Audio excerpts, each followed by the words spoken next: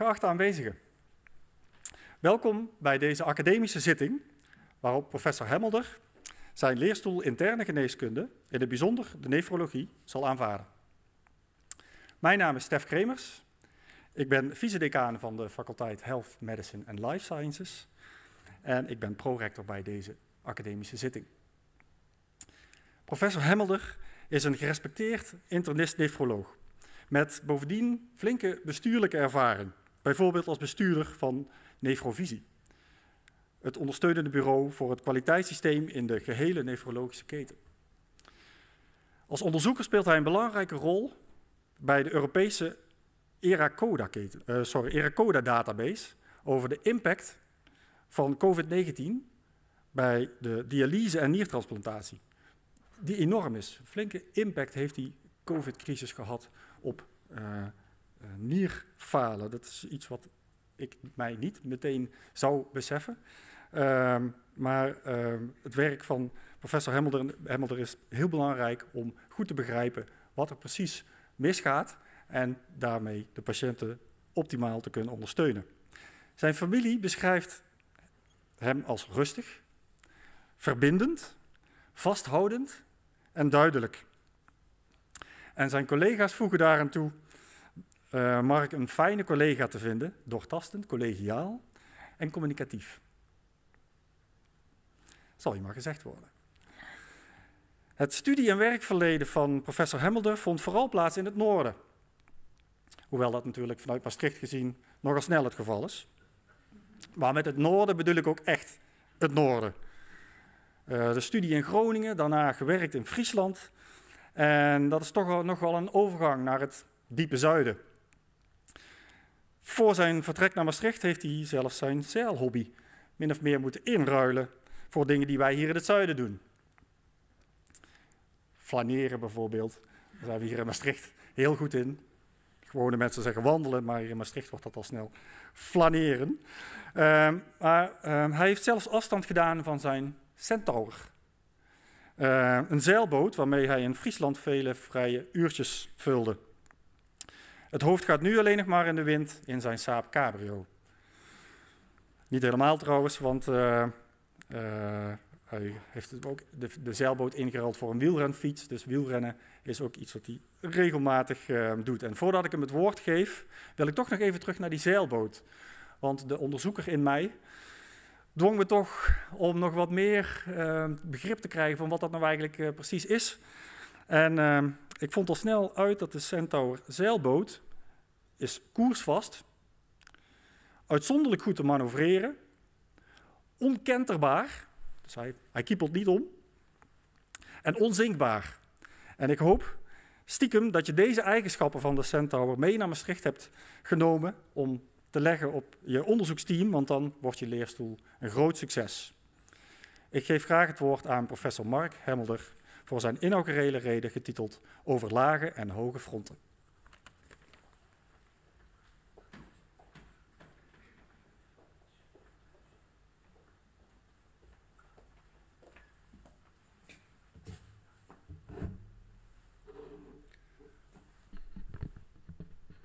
Geachte prorector en allen live aanwezig of via de stream. Het is een eer om vandaag mijn inaugurele reden te mogen uitspreken voor u. Zoals u al toegelegd is, heb ik geen reguliere academische route bewandeld om in Maastricht als hoogleraar interne geneeskunde in het bijzonder de nefrologie aangesteld te worden. Maar met veel genoegen kijk ik terug op dit alternatieve Pieterpad. Mijn pad is 55 jaar geleden gestart in mijn geboorteplaats Didam. Al snel gevolgd door opgroeien in Twente in een hecht gezin met twee broers en één zus.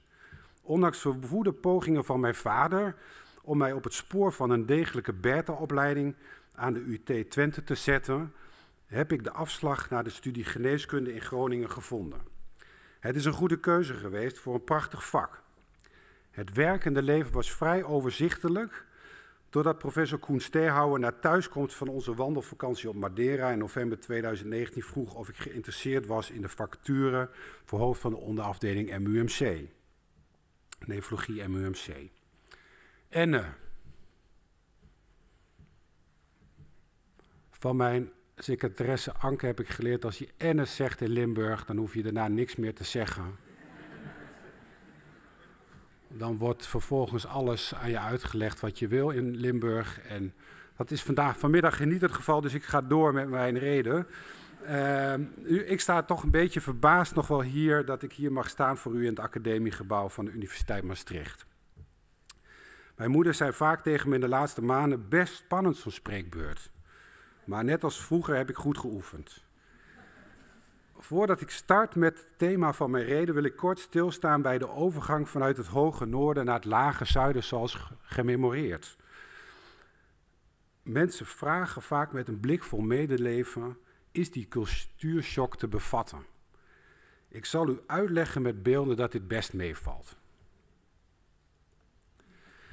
U ziet hier achterin volgens de Olle Grieze in Groningen, de Oldenhoven in Leeuwarden, de Sint-Pieterkerk in Grauw en de Sint-Servaas en Sint-Jan in Maastricht. Het zijn allemaal chique kerktorens. Oh, excuus.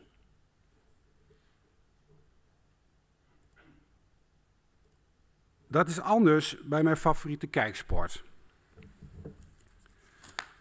Ik ben na mijn jeugdliefde en eenmalige landskampioen FC Twente en twee eenmalige bekerwinnaars uit Groningen en Heerenveen veroordeeld tot US MVV'ken. Hoop doet leven, maar FC Limburg gaat er niet komen. Op het gebied van patisserie is er een smakelijke aanpassing. Van de Twentse krentenweggen, de Grunneke kauken, de grauwste suikerbollen naar het vlaabuffet van Bakker Hermans is geen straf. Ook hebben mijn nieuwe collega's mij hartelijk ontvangen op anderhalf meter afstand met een neus-mondmasker op of via Teams. Het blijft nog wennen dat mensen hier meer woorden gebruiken en de boodschap een aantal keren herhalen.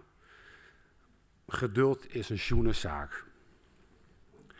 In mijn reden ga ik in op het belang van preventie bij chronische nierschade vanuit het perspectief van de patiënt en de maatschappij.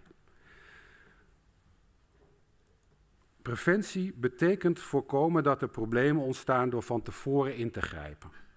Ingrijpen door het geheel van doelbewuste initiatieven die anticiperen op risicofactoren en ageren op eerste signalen. Er is daarbij een parallel met de rijke historie van Maastricht. U ziet hier de bekende koning Ambiorix van de Germaanse stam der Eburonen, die na de grote volksverhuizing rond 500 voor Christus aan de samenstroming van Maas en Jeken neerstreek. Zijn nierfunctie is niet bekend. Maar hij imponeert met voldoende spiermassa, ogenschijnlijk leidinggevende kwaliteiten en strategisch inzicht. Dat is beloond met het standbeeld in Tongeren. Toch is zijn stam in de eerste eeuw voor Christus verjaagd door de Romeinen. De stad werd vanaf dat moment Trajectum ad Mozam genoemd, ook wel de overgang van de Maas, waar alle wegen samenkomen. De Maasbrug was een cruciaal onderdeel van de handelsroute van de vloot- en havenstad Boulogne naar Keulen, via Tongeren en Maastricht. In de eeuwen nadien was het een komen en gaan van bisschoppen en werd Maastricht een interessante stad voor buitenstaanders. Lage en hoge fronten bleken vanaf 1632 rondom de stadsmuren van Maastricht aangelegd als extra verdediging tegen indringers van buiten. In het Maastricht worden ze ook wel de werken genoemd. Op de afbeelding ziet u de bijzondere vormen van de linie van Dumoulin, een van de laatste restanten van de werken. Om een stad te veroveren groeven aanvallers mijngangen tot aan de stadsmuur en brachten grote ladingen kruid aan om de stadsmuren op te blazen. De eenvoudigste manier was het onder water zetten van de gebieden door de muren, voor de muren. Dat zijn de lage fronten. In het westen van Maastricht was het terrein echter te hoog voor het gebruik van water en moest men zijn toevlucht nemen tot het droge grachtensysteem, de hoge fronten. En het witte blokje linksboven voor u is de plek waar wij nu wonen. U ziet op de figuur links hoe een extra ring van bescherming om de stad ontstond, waarbij de Maas de stad doorsnijdt. Niet alleen een nefroloog kan zien dat de stadsplattegrond exact op de afbeelding van de glomerulus lijkt. Met de wijk Wiek als distale tubulus met macula densa. De glomerulus is een belangrijk onderdeel van de filtereenheid in de nieren. U ziet in de figuur een filtereenheid die uit meerdere onderdelen bestaat. Het instromende bloed wordt door de glomerulus geleid en vocht met opgeloste stoffen gaat door de membraan met poriën naar de tubuli of nierbuisjes, terwijl bloedcellen en grote eiwitten niet door de membraan kunnen. Per dag wordt er op die manier 180 liter bloed gezuiverd tot 2 liter urine met daarin afvalstoffen, zuren en overtollige zouten. Dit betekent dat de 178 liter gefilterd water met nuttige stoffen zoals zout, glucose en kleine eiwitten wordt heropgenomen door de tubuluscellen en voor het lichaam behouden blijven. Dit houdt het inwendig milieu van de mens in evenwicht en beschermt tegen het ontstaan van ziekten. Al in de oudheid waren er piskijkers. Hippocrates beschreef 2400 jaar geleden dat kleur- en geurveranderingen van urine duiden op koorts. Ongeveer duizend jaar voor Christus ontdekte men dat de insecten afkwamen op urine van mensen met steenpuisten. Later werd de relatie gelegd dat steenpuisten vaker voorkomen bij suikerziekte, een aandoening waarbij glucose in de urine terechtkomt. Beoordeling van urine is nog altijd een hoeksteen van de nefrologie, het vakgebied binnen de interne geneeskunde dat zich bezighoudt met nierziekten. Als er eiwitten, rode bloedcellen of ontstekingscellen in de urine gevonden wordt, dan kan dit wijzen op een nierziekte of nierschade. De nierfunctie wordt geschat door het bepalen van creatinine in het bloed. Creatinine is een afbraakproduct van spiercellen dat gefilterd wordt. Dit bloed- en urineonderzoek is eenvoudig toepasbaar en goedkoop. Bij een gezond persoon is de nierfunctie rond het 20ste jaar maximaal, met een nierfunctie van ongeveer 120 ml per minuut. En zijn er geen eiwitten, rode bloedcellen of ontstekingscellen in de urine. Daarna gaat de nierfunctie gemiddeld met een half tot 1 ml per minuut per jaar achteruit, door een beperkte uitval van de nierfilters. Snel rekenen leert dat de nierfunctie rond het 80ste jaar bij ouderen zonder nierziekte tussen 60 en 90 ml per minuut uitkomt. En daar kun je prima oud mee worden. Bij chronische nierschade is sprake van een nierfunctie lager dan 60 ml per minuut, die meer dan drie maanden aanwezig is. Het is het gevolg van extra verlies van nierfilters. De meest voorkomende oorzaken zijn diabetes mellitus, hoge bloeddruk of bloedvaatverkalking. Minder vaak voorkomende oorzaken zijn een ontsteking van de nierfilters, zoals bij IgA-nefropathie, een auto-immuunziekte of erfelijke polycysteuze nierziekte. Onafhankelijk van de oorzaak gaan de overblijvende nierfilters in eerste instantie meer bloed filteren onder invloed van verhoogde productie van het hormoon angiosine 2 om de nierfunctie op peil te houden.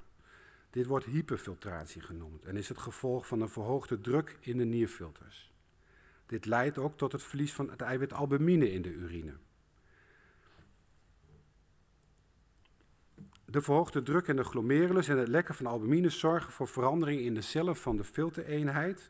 Die leiden tot ongewenste stapelingen van eiwitten, activatie van ontstekingscellen, beschadiging van het filtermembraan, de nierbuisjes en bloedvaten. En uiteindelijk verlittekening van het nierweefsel. Hierdoor gaat de nierfunctie snel achteruit. De impact van chronische nierschade is groot, maar meestal niet te bevatten voor patiënten. Dat zal ik toelichten met een casus.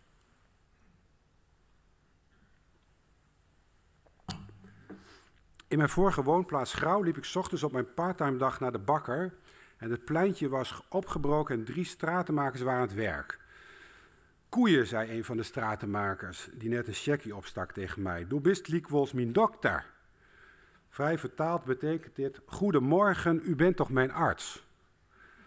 Na even nadenken herkende ik de 50-jarige man die ik sinds kort behandelde in het MCL. Hij was verwezen naar aanleiding van een hoge bloeddruk, die was vastgesteld bij een keuring voor een verzekering. En er was eiwit in de urine en een verminderde nierfunctie van ongeveer 50 ml per minuut vastgesteld. De man was verbaasd dat hij er niets van had gemerkt. en hij snapte niet dat hij naar het ziekenhuis moest. Dat is een bekend fenomeen bij de meeste patiënten met chronische nierschade, die pas klachten ervaren als de nierfunctie lager wordt dan 30 ml per minuut. Om een onderliggende nierziekte aan te tonen werd een nierbiopsie verricht. Daarbij wordt met een punctie uit een van beide nieren een klein stukje nierweefsel gehaald en beoordeeld door de patholoog. Er werd vastgesteld dat er geen specifieke nierziekte was, maar wel duidelijk beschadiging van nierfilters met verlittekening. De stratenmaker vroeg mij of dit te genezen was en of hij kon blijven werken. Helaas moest ik uitleggen dat genezen niet mogelijk is als er nierfilters verloren zijn gegaan en er geen nierziekte wordt gevonden waarvoor een behandeling is die de nierfilters herstelt. De behandeling richt zich dan op het voorkomen van verder verlies van nierfilters en op het voorkomen van complicaties. Om het risico op complicaties door chronische nierschade te bepalen, wordt deze internationaal vastgestelde klassificatie gebruikt. Verticaal staat de nierfunctie in categorieën aangegeven en horizontaal de hoeveelheid albumine in de urine. De groene categorieën geven aan dat er geen chronische nierschade is. Dit is bij ongeveer 90% van de bevolking. En, bij, en de gele, oranje, rode categorieën is sprake van chronische nierschade. De stratenmaker, ziet u, zit in de rode categorie en heeft een sterk verhoogd risico. Dit betekent dat de kans op het ontstaan van een hartinfarct, hersenberoerte, vaatlijden of het overlijden aan deze ziekte bij de stratenmaker vier keer hoger is dan bij iemand zonder chronische nierschade. Bij chronische nierschade is er een versnelde slagaderverkalking, omdat er naast de klassieke risicofactoren voor vaatziekten, zoals hoge bloeddruk en een verhoogd cholesterol, ook specifieke risicofactoren zijn, zoals endotheeldysfunctie, stollingsafwijking, een verstoring van de calciumfosfaatbalans, bloedarmoede en chronische ontsteking. Naast de hogere kans op hart- en vaatziekten neemt het risico op nierfalen met een factor 70 toe. Bij nierfalen werken de nieren niet meer voldoende en is dialyse of niertransplantatie nodig om in leven te blijven. De kans op hart- en vaatziekten is voor de stratenmaker het meest bedreigend, omdat deze aandoeningen veel vaker voorkomen dan nierfalen. De 50-jarige stratenmaker zal door dit sterk verhoogde risico 15 jaar eerder overlijden dan de gemiddelde man in Nederland, zonder nierschade. Dit verlies aan levensjaren is vergelijkbaar met dat van iemand die darmkanker heeft. Voor de stratenmaker zonder klachten is dit niet goed te bevatten. En dat is voor veel andere patiënten met chronische nierschade ook het geval. Uit het eerste Nederlandse bevolkingsonderzoek naar chronische nierschade Prevent in Groningen in 1992 opgezet door mijn promotor professor Paul de Jong, bleek dat 1 op de 10 volwassenen chronische nierschade heeft. Dat zijn 1,4 miljoen volwassenen in Nederland, net zoveel als er diabetes mellitus patiënten zijn. In mijn Friese tijd heb ik samen met dokter Chris Haag en dokter Aaltje Adema het project Gezonde Nieren Friesland opgezet. En daarbij is in 20 Friese huisartsenpraktijken vastgesteld dat 7,2% van de mensen bekend was met chronische nierschade.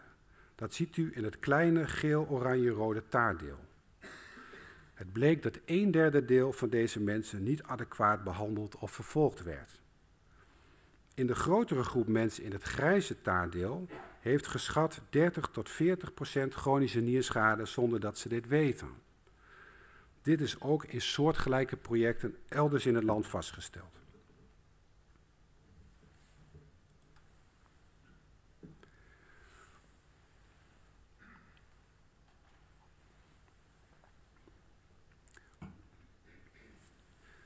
Chronische nierschade komt. Oh, excuus, dit is nog te ver. Even terug.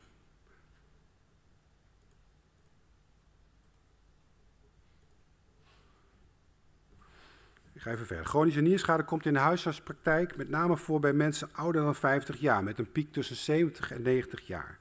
Mensen ouder dan 80 jaar worden met name door de huisarts begeleid en in de regel niet verwezen naar het ziekenhuis. 50% van de mensen die jonger dan 80 jaar zijn, met een sterk verhoogd risico worden door de nefroloog begeleid. Op de nieratlas is te zien dat ongeveer 20.000 patiënten met chronische nierschade door nefrologen worden behandeld, waarvan de meeste in Limburg en Brabant. Deze regionale verschillen kunnen niet het gevolg zijn van verschillen in de mate van vergrijzing, omdat voor leeftijd is gecorrigeerd. Mogelijk zijn verschillen in algemene gezondheid of verwijspatronen een verklaring. Het is nog onbekend hoeveel patiënten met chronische nierschade behandeld worden door internisten of cardiologen in verband met diabetes mellitus en hartfalen. Concluderend komt chronische nierschade vaak voor, is het nog te vaak onvoldoende behandeld of onbekend en kan het grote gevolgen hebben. De belangrijke tweede vraag van de Friese stratenmaker was of hij kon blijven werken. Dat is moeilijk te voorspellen. Ik zal u uit vele mogelijke scenario's er drie laten zien. In deze figuur ziet u dat de stratenmaker zich presenteert met een nierfunctie van 50 ml per minuut in 2011. Ondanks ingezette behandeling neemt de nierfunctie af tot 40 ml per minuut in 2019. Dat is ongeveer 1,5 ml per minuut verlies per jaar. Iets meer dan de normale achteruitgang van nierfunctie door leeftijd. Hiermee kan de, nier, kan de stratenmaker blijven werken, alhoewel het uithoudingsvermogen zal afnemen als de nierfunctie lager wordt. Als de afname van nierfunctie niet verandert, zal de stratenmaker op 84-jarige leeftijd een nierfunctie van 10 ml per minuut hebben. Een ongunstige scenario is als de nierfunctie in drie jaar tijd afneemt naar 10 ml per minuut, ondanks ingestelde behandeling. De stratenmaker zal dan zijn werk niet meer kunnen doen. Als er een donor is die een nier kan afstaan en wil afstaan, kan er een niertransplantatie plaatsvinden voordat dialyse nodig is. Dat is de beste oplossing die we nu voorhanden hebben. U ziet dat de nierfunctie herstelt tot een goed niveau, maar dat hierna ook weer nierschade kan optreden. Een donornier van een levende donor is korter buiten het lichaam dan een nier van een overleden donor, waardoor er minder schade door de onderbroken doorbloeding ontstaat. Behandeling met afweeronderdrukkende medicatie is nodig om een afstotingsreactie te voorkomen. Na vijf jaar functioneert nog 85% van de levende donornieren ten opzichte van 70% van de nieren van een overleden donor. Het valt op dat het aantal patiënten met een werkende donornier het hoogste is in Zuid-Holland en Limburg. In Maastricht is in 1982 het niertransplantatieprogramma gestart door chirurg professor Kootstra en internist-nefroloog professor Hans van Hoof, later voortgezet door dokter Maarten Christiaans. U ziet het aantal transplantaties dat in Maastricht is uitgevoerd voor de regio Zuidoost-Nederland met nu rond 50% levende donorniertransplantaties. Het landelijk corona-effect van de laatste twee jaren is ook hier zichtbaar met een duidelijke afname van het aantal niertransplantaties. In het minst gunstige scenario is er geen nierdonor en zal de stratenmaker eerst starten met dialysebehandeling. Met dialyse wordt de functie van de nieren overgenomen door een kunstnier als er klachten van niervergiftiging ontstaan en worden afvalstoffen op basis van osmose en diffusie uit het bloed verwijderd. In de middeleeuwen werden hiervoor medicinale bloedzuigers gebruikt. In 1854 publiceerde Thomas Graham in de Philosophical Transactions of the Royal Society of London over de osmometer, het eerste meetinstrument dat diffusie aantoonde. Op basis van dit principe is in 1924 door Dr. Haas in Gießen de eerste dialysebehandeling uitgevoerd. Professor Kolff heeft de techniek verder ontwikkeld tijdens de Tweede Wereldoorlog in Kampen. En pas sinds de jaren 60 van de vorige eeuw werd de behandeling in de kliniek beschikbaar. In Maastricht is de eerste dialysebehandeling in 1970 uitgevoerd. Dialysepatiënten gaan drie tot vier keer per week een halve dag naar het dialysecentrum of voeren de behandeling thuis zelf uit. Met dialysebehandeling wordt de nierfunctie tot maximaal 10 à 15 ml per minuut nagebootst. Dialysepatiënten die getransporteerd kunnen worden, wachten gemiddeld 3,5 jaar op een nier van een overleden donor. Dialysepatiënten die niet getransporteerd kunnen worden, blijven de rest van hun leven dialyseren. Ze krijgen een andere sociale rol, participeren minder in werk met soms grote financiële gevolgen en verliezen kwaliteit van leven. Maastrichts onderzoek geïnitieerd door mijn voorganger professor Karel Leunissen Professor Jeroen Koolman en dokter Frank van der Zanden toonden aan dat een afwijkende voedingstoestand, chronische ontsteking en verlies aan spiermassa bij dialysepatiënten gerelateerd zijn met een verminderde fysieke activiteit en een afname van kwaliteit van leven met een verhoogde kans op overlijden. Sinds 2018 wordt door nefrovisie kwaliteit van leven en ziektelast bij dialysepatiënten geregistreerd met gevalideerde vragenlijsten. Ook wel patiëntgerapporteerde uitkomstmaten, afgekort PROMS genoemd. Dialysepatiënten ervaren met name een afname van lichamelijke kwaliteit van leven in vergelijking met de Nederlandse bevolking. Opvallend is dat, dat, geestelijke, dat de geestelijke kwaliteit van leven nauwelijks verminderd is, ondanks een hoge ziektelast. U ziet dat dialysepatiënten gemiddeld 11 van 30 mogelijke symptomen aangeven. En klachten omtrent seksualiteit worden als meest ernstig aangegeven, terwijl dit vaak niet te sprake komt. Proms kunnen gebruikt worden om deze klachten beter bespreekbaar te maken.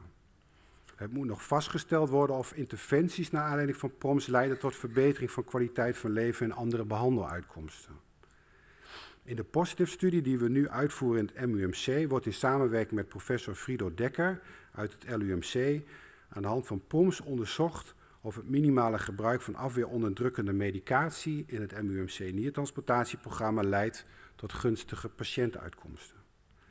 Aandachtspunten bij het gebruik van PROMS zijn de wisselende motivatie om vragenlijsten gedurende langere tijd in te vullen, het gebruik bij lage letterden en de integratie in het dossier. Naast de impact op kwaliteit van leven is het risico op overlijden hoog, voor met, voor met name dialysepatiënten. De algenoemde ERACODA-werkgroep heeft vanuit Nederland de effecten van COVID-19 bij dialyse- en niertransplantatiepatiënten onderzocht. Dit waren patiënten die in Europa zijn verzameld. Het risico op overlijden 28 dagen na coronabesmetting was maar liefst 25% tijdens de eerste golven. Dat is drie tot vier keer hoger in vergelijking met de algemene bevolking en hoger dan bij patiënten met een overgewicht, diabetes mellitus of hoge bloeddruk. Oudere en meer kwetsbare dialysepatiënten hadden het hoogste overlijdensrisico. Door het Recovac Consortium, een samenwerkingsverband van alle UMC-nefrologieafdelingen, is voor deze patiënten vaccinatie eerder beschikbaar gekomen en onderzoek gedaan naar de effectiviteit en veiligheid van vaccinatie. Het blijkt dat 92% van de dialysepatiënten na twee vaccinaties een antistofrespons heeft. En dat is opvallend hoog. En dat is met 50% veel lager voor niertransplantatiepatiënten. Vooral bij die patiënten die het afweerremmende medicijn mycophenolaat mofetyl gebruiken. Ook na een derde vaccinatie was er nog onvoldoende respons bij 20 tot 30 procent van de niertransplantatiepatiënten. Verder onderzoek naar het beschermend effect en het werkingsmechanisme van vaccinatie tegen COVID-19 bij deze patiënten volgt. Corona heeft benadrukt dat dialyse en niertransplantatie een grote impact hebben op de patiënt de naaste van de patiënt en de maatschappij. Ondanks de vestingwerken rondom de stad werd Maastricht in minder dan twee weken ingenomen door Lodewijk XIV bij het beleg van 1673. Daarom zijn er nadien raffelijnen en lunetten gebouwd om de bescherming van de stad te optimaliseren. Om het graven van naderingsmijnen door de vijand te voorkomen is de stadsverdediging voorzien van luistergangen. Dit nog steeds bestaande ondergrondse netwerk van 11 kilometer lengte wordt kazematten genoemd. Welke spreekwoordelijke raffelijnen, lunetten en kazematten zijn beschikbaar voor preventie bij chronische nierschade?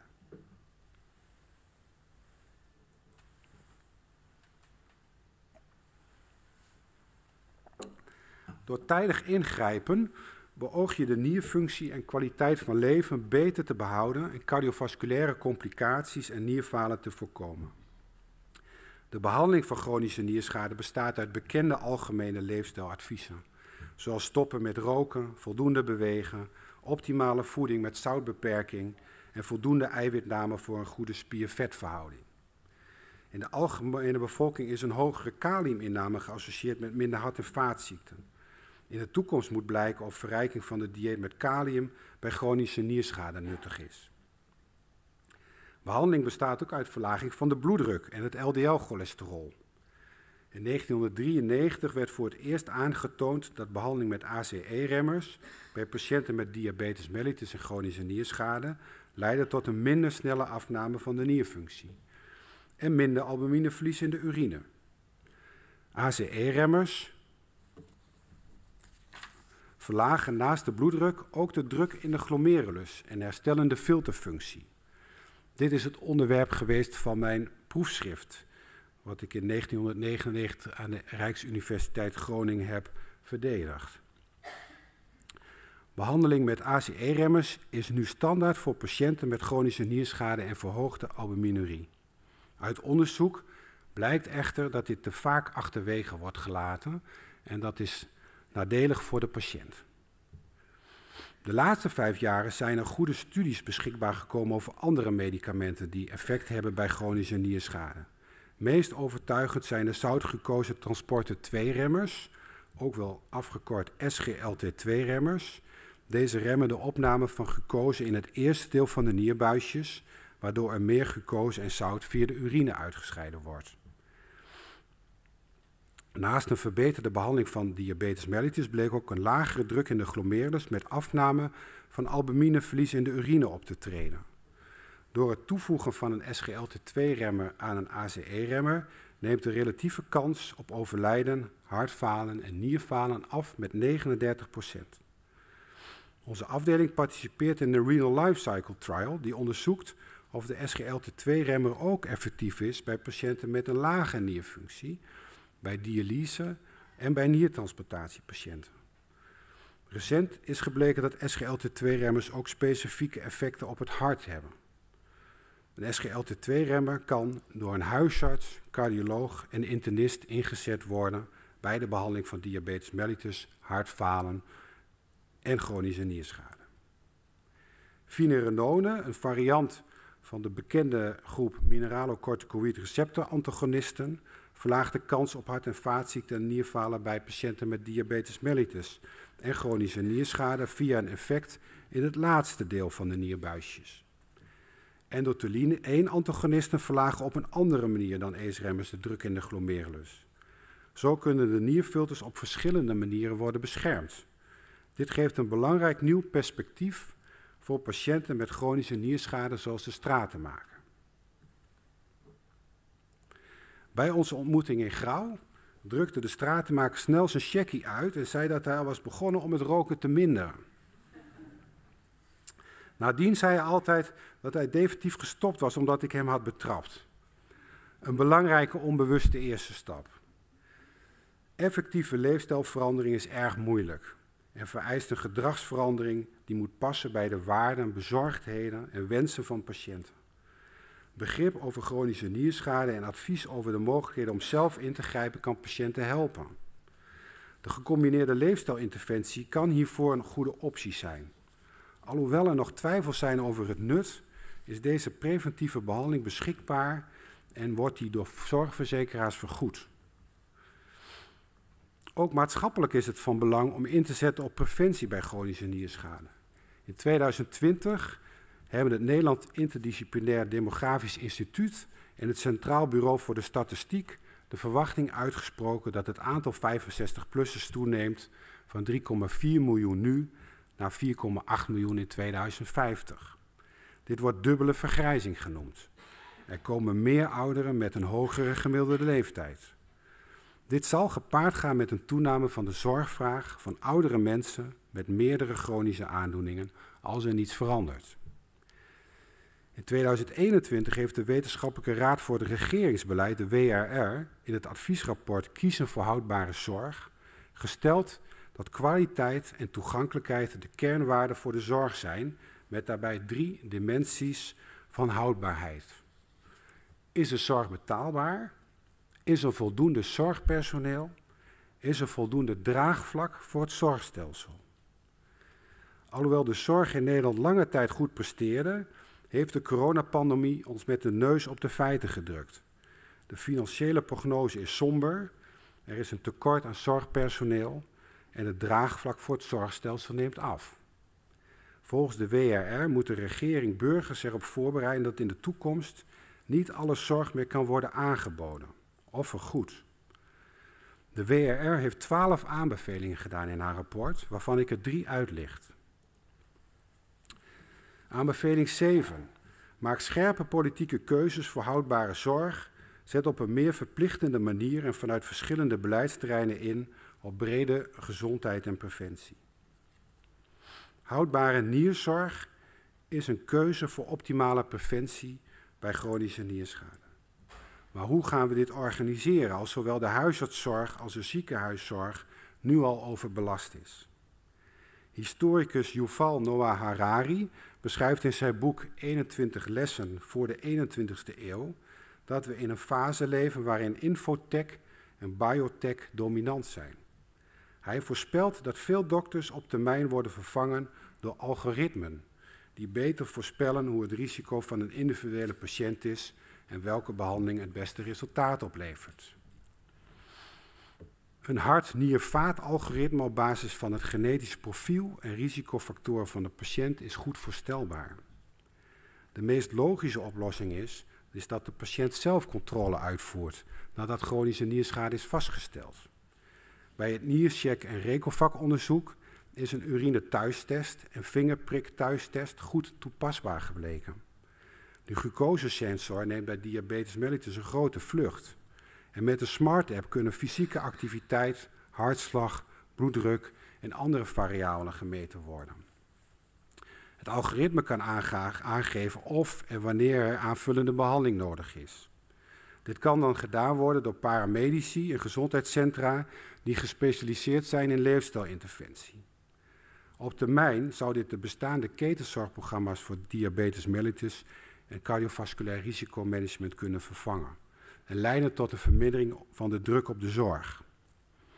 Omdat laaggeletterde, anderstalige en of laag opgeleide patiënten het hoogste risico op verlies aan gezondheid en lage gezondheidsvaardigheden hebben, is onderzoek nodig hoe we juist deze groep beter kunnen bereiken. Of verplichte deelname aan preventieprogramma's effectief is, betwijfel ik. Beloning is een meer kansrijke aanpak. Houdbare nierzorg betekent ook opsporing van nog onbekende chronische nierschade.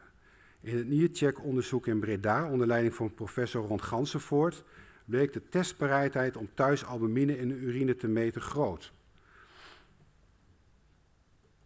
De klassieke methode van het meten van albumine in de urine die u links ziet, werd door 60% van de mensen uitgevoerd en de meting via een app rechts door 45%. Deze moderne vorm van piskijken heeft dus nog niet de voorkeur, maar ik verwacht dat het in de toekomst gaat veranderen. Van de 4% van de mensen met nieuw ontdekte albumine in de urine, die werd verwezen naar de huisarts, ging echter bijna de helft niet. Hier is nog een drempel die we moeten oplossen. Onze afdeling participeert in het Check at Home Consortium, een landelijke samenwerking van nefrologie, cardiologie en endocrinologie. Onderzoek richt zich op vroegtijdige opsporing van chronische nierschade, boezemfibrilleren, hartfalen en diabetes mellitus. Met de vraag of dit doelmatig is en op termijn een landelijk bevolkingsonderzoek rechtvaardigt. Vanaf 2023 zal het chronische nierschadeonderzoek starten in vier regio's, waarbij 160.000 burgers van 50 tot 75 jaar uitgenodigd worden om een urinethuistest te doen gevolgd door screening indien er albumineverlies in de urine wordt vastgesteld. Houdbare nierzorg betekent voor de nefroloog een grotere consultatieve rol in en buiten het ziekenhuis. Dit dient te leiden tot selectievere verwijzing bij aanwijzing voor een onderliggende nierziekte of bij een te snelle afname van nierfunctie. Goede diagnostiek is daarbij cruciaal. In Limburg worden alle nierbiopsieën systematisch vastgelegd in de regionale niernetwerkregistratie onder leiding van dokter Pieter van Paasen. De diagnostische mogelijkheden bij verdenking op nierziekte nemen in de komende jaren toe met de introductie van genoomanalyse en nieuwe biomarkers voor progressie van chronische nierschade. Met nieuwe behandelopties kan dit leiden tot betere preventie van nierschade bij specifieke nierziekten of na niertransplantatie.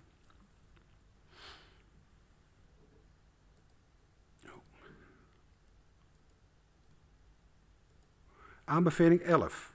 Onderzoek de kosteneffectiviteit van bestaande zorg in alle sectoren en stop met het vergoeden van niet passende zorg. Deze aanbeveling sluit aan op het waardeketenmodel ontwikkeld door bedrijfseconoom professor Porter uit Harvard. Waarde wordt gekwantificeerd door de winst in kwaliteit te delen door zorgkosten. Kwaliteit voor de patiënt wordt gedefinieerd als de som van patiëntuitkomsten, patiëntveiligheid en patiëntervaring. De kosten van chronische nierschade, dialyse en niertransplantatiebehandeling zijn in kaart gebracht door FECTIS, de declaratiedatabase van de zorgverzekeraar, te koppelen met de dialyse kwaliteitsregistratie renine van Nefrovisie.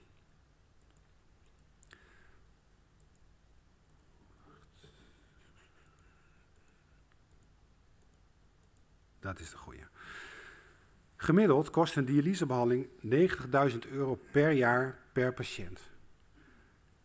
Niertransplantatie kost in het eerste jaar bijna evenveel als dialyse, maar in de jaren daarna ongeveer 25.000 euro per jaar.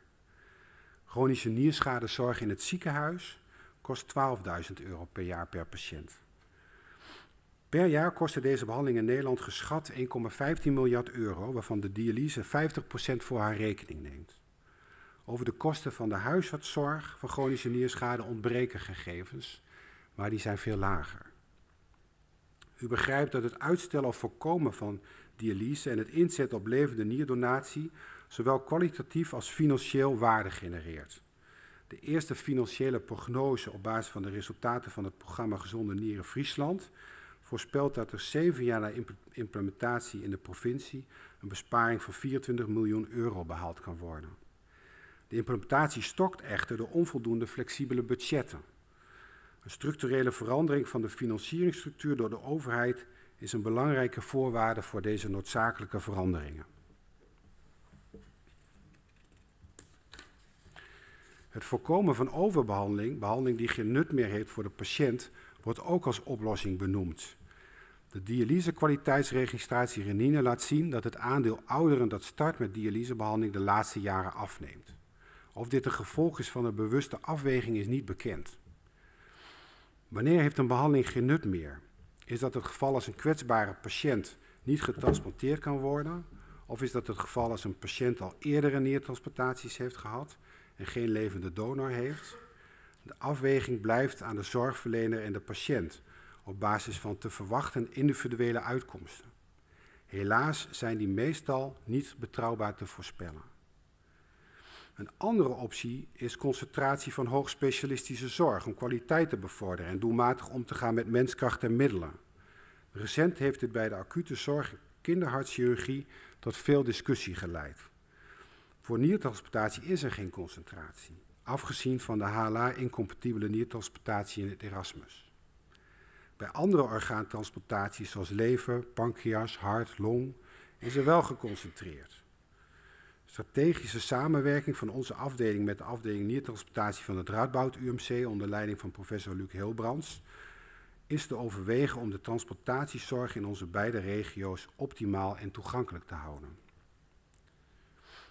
Een voorbeeld hiervan is de samenwerking bij de implementatie van het Nierteam aan Huis. Een team dat patiënten en naasten thuis bezoekt om informatie te geven over de behandelopties bij nierfalen. Aanbeveling 12. Beleg de eindverantwoordelijkheid voor het systematisch ontwikkelen, bijeenbrengen en ontsluiten van uitkomstdata bij één organisatie. Gestructureerde dataverzameling over preventieprogramma's is noodzakelijk om de effecten te analyseren en verbeteringen te stimuleren. Met gegevens uit de kwaliteitsregistraties Renine en NOTR heb ik waardevolle landelijke inzichten kunnen laten zien over uitkomsten van nierziekten uitbreiding door koppeling van gegevens uit de huisartspraktijken en toevoegen van patiënten met chronische nierschade die in de tweede lijn behandeld worden aan de bestaande kwaliteitsregistratie renine is noodzakelijk. Het maakt bijvoorbeeld inzichtelijk hoeveel patiënten bewust afzien van dialyse en kiezen voor conservatieve behandeling. Het bevordert ook de ontwikkeling van valide predictiemodellen over het individueel risico op hart- en vaatziekten en nierfalen bij chronische nierschade. Onze afdeling start in samenwerking met het LUMC de PRO-CKD-studie, die de uitkomsten van behandeling en POMS bij ernstige chronische nierschade analyseert en test hoe gegevens op kunnen genomen kunnen worden in de kwaliteitsregistratie renine. Met betrouwbare data over uitkomsten kan de zorgprofessional leren en verbeteren. In Nederland is er helaas geen centrale regie geweest op een gestandaardiseerde en geautomatiseerde aanlevering van behandelgegevens uit het EPD. Met als gevolg veel administratieve last voor de professionals. Hoe logisch zou het zijn om gegevens eenmalig en uniform vast te leggen, zodat gegevens van de kanker- of hartregistratie gekoppeld worden aan die van chronische nierschade, dialyse en niertransplantatie. In 2018 hebben een aantal kwaliteitsregistraties, waaronder Nefrovisie, zich verenigd als samenwerkende kwaliteitsregistraties SKR. Samen met de Federatie Medisch Specialisten is de SKR actief betrokken bij het inrichten van een landelijk register voor kwaliteitsregistraties. Dit is een eerste stap, waarbij het hoofddoel niet die ene organisatie is, maar het optimaal ontsluiten van alle beschikbare data om kennis en kwaliteit te vergroten. Wetenschappelijke analyse is noodzakelijk om te toetsen of er sprake is van houdbare zorg en waar nodig bij te sturen. U zult zich vast afvragen hoe het met de werken is afgelopen. In 1867 werd de vestingstatus van Maastricht opgeheven in opdracht van het toen nog ministerie van Oorlog. Grote delen van de middeleeuwse stadsmuren en de buitenwerken werden geslecht. De linie van Dumoulin en Bastion Waldeck zijn behouden. Eerst als rijksmonumenten en later als beschermd natuurmonument. Onder andere vanwege de aanwezigheid voor de Nederland unieke biotoop van de muurhagedis.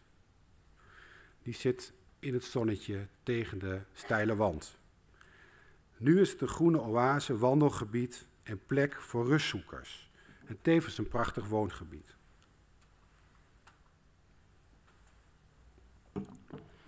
De historie van de lage en hoge fronten leert dat we niet altijd tijdig kunnen anticiperen op de toekomst, maar dat de uitkomst toch positief kan zijn. Mijn opdracht is om met patiëntenzorg, onderwijs en onderzoek een bijdrage te leveren aan optimale preventie bij chronische nierschade. Preventie zal in het curriculum voor studenten geneeskunde ITM en de opleiding van verpleegkundigen en medisch specialisten een meer prominente plek moeten krijgen. Vanuit het Cardiovascular Research Institute Maastricht, CARIM, heb ik nieuwe studies over pathofysiologie en epidemiologie van chronische nierschade gestart. De focus ligt op een geïntegreerde meting van veranderingen van fysieke activiteit, de vaatfunctie, spiermassa en voedingsstatus in verschillende stadia van matige tot ernstige chronische nierschade. Hierbij zal de relatie met complicaties en het effect van interventies op kwaliteit van leven onderzocht worden. Een koppeling met de Maastricht-studie, een bevolkingsonderzoek naar diabetes mellitus type 2 in de bevolking van Maastricht, onder leiding van professor Koen Steerhouwer, maakt het mogelijk om dit ook bij milde chronische nierschade te analyseren. In de euregionale samenwerking tussen Aken en Maastricht in AmiCare is de cardiale en renale interactie bij chronische nierschade onderwerp van onderzoek. Met deze inzichten hoop ik de effectiviteit van preventie te verbeteren. Mijn, mijn motivatie is zoals al toegelicht gedreven door positieve samenwerking. Die heb ik ervaren in de maatschap interne geneeskunde en maag-darm-leverziekte in Leeuwarden en bij Nefrovisie, maar ook bij samenwerking in vele landelijke onderzoeksprojecten. Het is een genoegen met mijn eigen promovendi, Esmee van der Willik, Pim Bouwmans, Bianca Zomer en Lieve Osturk te werken aan onderzoek. De staf en het secretariaat nefrologie, MUMC Plus medewerkers van de Polykliniek, afdeling D5, Centrum voor Chronische Zieken en het Dialysecentrum Maastricht, Valkenburg, La Valence, wil ik hartelijk danken voor de prettige samenwerking. Speciaal woord van dank aan Jeroen Koolman, die mij buitengewoon gesteund heeft. Het college van bestuur van de UM, de raad van bestuur van het MUMC, professor Koen Steehouwer, professor Tilman Hakking en de collega's van de afdeling interne geneeskunde wil ik danken voor het in mij gestelde vertrouwen. Familie en vrienden, het is heerlijk dat jullie vandaag deze bijzondere gebeurtenis op deze prachtige dag met ons vieren.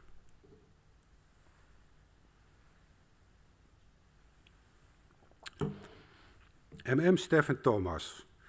Op jullie is de mooiste liefdeszin van toepassing. Door Arthur Chopin geschreven in zijn roman Een schitterend gebrek. Dit is het enige wat telt, lieverds. Dat iemand meer in je ziet dan je wist dat het te zien was. Ik heb gezegd.